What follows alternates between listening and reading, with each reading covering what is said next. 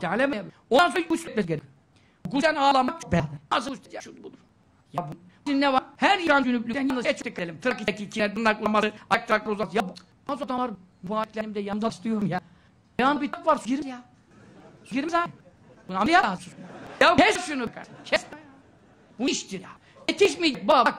Bu et. Bu tırnak etten gelecek. Bunu böyle yaptığın zaman eti getim. Sıkıntı o. Bak elinden gelecek. Efendi bonzilerde ve ayakların kenar şeylerini kanırdı ya. Kanırdı ya. Öyle o ayak meselesi. Ona bir yer olmaz güçlü ya. Bilin bir şey olur. Her ucuna gidecek. Yalap yalap işte yap. Kuş alıyorum. Nasıl? Benim diyor çok güzel diyor. Tuş. Ben bir açıyorum. Şar şar. Ne ne dedi ne ne var ya. Sen vücudun tümüz değil mi? Geber gibi ya. Bunu el gidecek. El yerine el edecek. Nasıl gidecek ya? Dönüyor dönüyor bana. Masajlamış. Etmiş. Ya masaj ve keyfi bana ya. Suyu bu ya. Suyu ona göre kullanacağım. Sağ üç kere, sol üç kere. Evvela pis varsa oralı yıkacak. Pis bu sene bu tarafa baş. Böyle bölgesel temizlik yapılacak. Ondan sonra abdest alacak. Abdesti sürücü alacak. Solan bizim değil diyor. Çok tehlikeli bir durum var. Abdest öyle alınacak. Normal bildiğimiz abdest. He? Ondan sonra üç kere, üç kere sağ omuz, üç kere sol omuz. Ondan sonra ceyiple elden uçturmak sünnettir. Böyle sırtını elin gidecek yerine. Kullarına ele edeceksin. Bu küçük şey hassas iş bu. Adam günün zarar olmaz ha.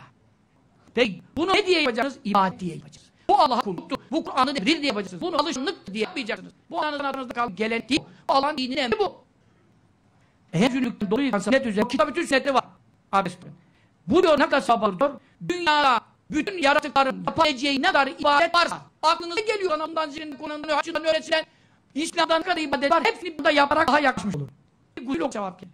Ve elimine nifak münafıklık kurulur. Kul be'de Allah altında sıktan yazılır. Bugün çok şey var. Bir anda beni yiyeceğiz, bir anda kalbi yanacağız inşallah. Ne diyor şakir bıhiyatleri? Kalbe bil hüzni, kalbi yüzüyle yıka. Kalbisi yanmış. Ne de gözüküyor? Yani çok keyifli ve şey olmak değil. Adam efendim de keyifli bu kapsama. Kafa keyifli mi yaptık? Ne yapacak belli değil.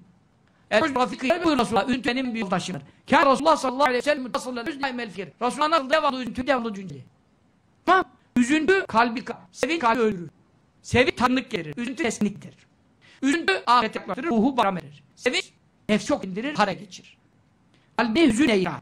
Yani Allah için ülmek, ahiret düşünmek, kabir düşünmek, ölüm düşünmek, insanlar demek gitmesin, ahiret neler olacak, olacak, bundan nasıl kurulacak, bunları dert etmek. Bu kadar dünyada insanlar azuz, fakir, maç, beldiler, tuzunami, onlar, yani hep böyle üzüntülü şeyler. Ama şimdi bütünlerin derdine, ya üzülmeyin çünkü yaşlısınız. Üzüntü, bu ayrı bir şey. Din dedi bu. Vasil herkes dileyle yıka, zikir yıka. Ne? Allah la ilahe illallah. Cumlar dili yıka. Ne ki vattasil bedeke ilma. Denini suyla yıkadı. Abdere sülleyi. Bir üstüne manevi yıkaması var.